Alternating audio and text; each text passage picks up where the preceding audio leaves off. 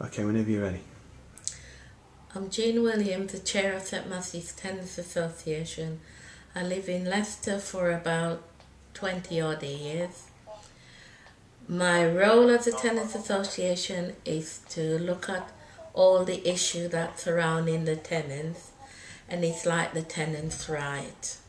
I use the internet for information and to keep two step ahead of all the agency so I can perform better for the tenants.